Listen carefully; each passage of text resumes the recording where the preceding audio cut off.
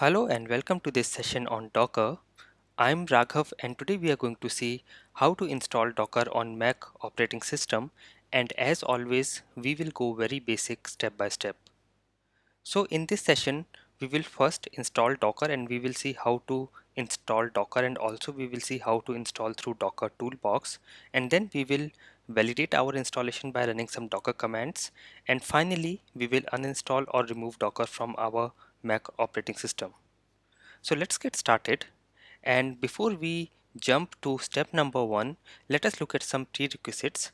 In case you have Mac operating system Yosemite 10.10.3 or above you can directly get Docker and we will see how can we do that but in case you are having any version lesser than that and in case you have Mac OS 10.8 Mountain Lion or newer you can get docker toolbox and we will also see how can we install docker through docker toolbox.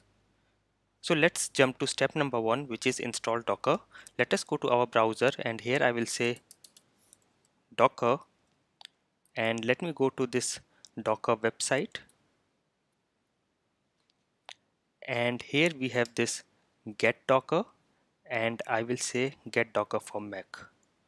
So we have got this page and here if you scroll down they have given some architecture for docker on mac. And finally we have this download now from docker store. Let us click here. And here you can see we have this prerequisites. It requires apple mac os yosemite 10.10.3 or above. And we can download docker by hitting this get docker let us go here and you can see docker is getting downloaded. So now my dmg file is downloaded and i have kept it on my desktop just to show you. And it is here. So i will just double click here. And it will open the docker.dmg and I will just drag and drop it in the applications folder. So it is like uh, you will install any program on Mac OS so that's all. So now let me go to my applications folder and let me search for docker.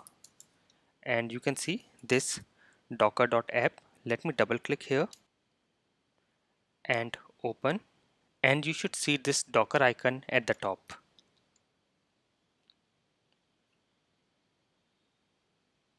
So now our Docker is installed on the system. You can also go to Spotlight and search for Docker and you will get options for Docker on the Spotlight as well and so now we are done with our very first step which is installing docker. Let us go to our second step and validate the installation by running some docker commands. And before we do that let me just show you some options. So if you go to this top uh, docker icon you can do a right click and you can find all these uh, information docker is running. You can restart it from here. You can go to about docker and it will give you the version of docker. And then we have some other options like you can go to preferences and here you can have some settings for docker. You can go to advanced and then you can adjust the computing resources how many cpus and memory is allocated. So these are some very handy things that you can do. And then we have this link for kitematic. So if you click here it will open kitematic which is a ui for docker and it will take some time. And here you can see you have these images that you can create. And if you go to my images there are no local images. Also now if we go to our terminal and we say docker you are seeing that we are getting these options. So that means docker is running. We can also say docker images. So as of now we have no images. So if now I say docker version. I'm getting the version for docker. And I can run the command docker info and I'm getting the information about docker.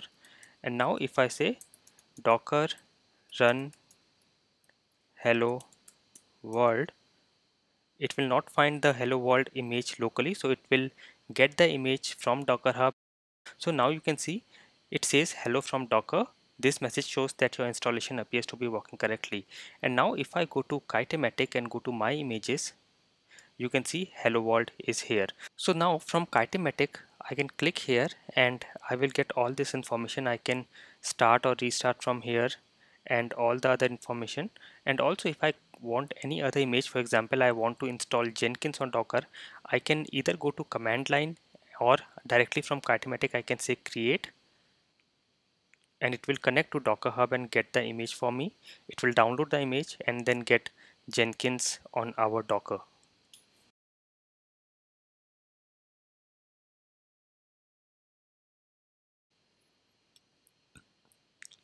So now you can see uh, Jenkins image has been downloaded and it has been started. So you can see all these uh, logs here. And then you can go to settings as well and you will find the container ID the name and the environment and other details. So you can also go to your terminal and here you can say docker images and you can see we have Jenkins and hello world. And for getting the containers you can say docker ps and you can see this is the Jenkins is running here. And we can also see this is the port on which Jenkins is running so let me see if I can get my Jenkins UI on my browser from from this port.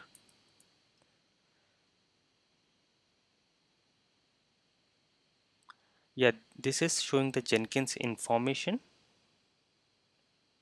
And this should be running my Jenkins. So yes you can see this is our Jenkins running.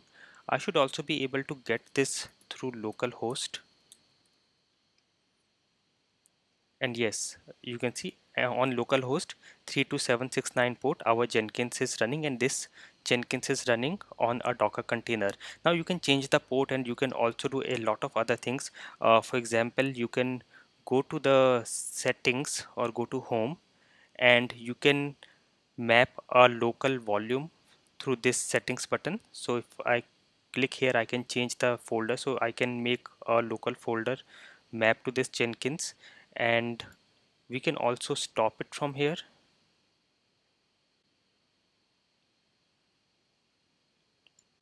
And now you can see if you go to my images we have both Jenkins and hello world. So if I say docker ps you can see now nothing is running and docker images. We have these two images still there right? So this is how we can get started with docker. And in case you have operating system which is less than OS Yosemite 10.10.3 then you will get this docker toolbox for installing docker. Let us also see how to do that. I will click on docker toolbox. And here is the download link for toolbox so with toolbox you will also get a virtual machine. So you can go to toolbox overview here. And it will give you all the details about the toolbox. So we can go down and here we can get docker toolbox for mac. Let us click here. It will install docker toolbox package. And you can also go to this link. Install docker toolbox on mac os so if you go to this link it will give you all the details step by step. So you can first check your version and then you can install docker toolbox as shown in the pictures here. And then it will install as any other program on mac os and then you can verify your installation by running docker. So once your docker is installed through docker toolbox you can again run your docker commands as we have seen. So I hope you can follow all the steps given on this page. Uh, I will also make these links available in the description of this video and in case you face any issues you can always drop a comment to me. Uh, I hope this will be very straightforward. Although with Docker Toolbox you might not get this whale icon at the top so you will have to start Docker manually but yes the commands and other things will be the same. So this is how you can get start with Docker Toolbox and now let us see how do we remove or uninstall docker. So if you go to this same link for docker toolbox at the end you have information on how to uninstall toolbox. So again you can make sure that you have all your virtual machines and all your containers stopped and then you can remove the docker folders. So for example from the applications folder you can remove all your docker and then let me go to my applications folder first and show you so first you again you have to stop docker. So I'm stopping docker from here. You can go to quit docker.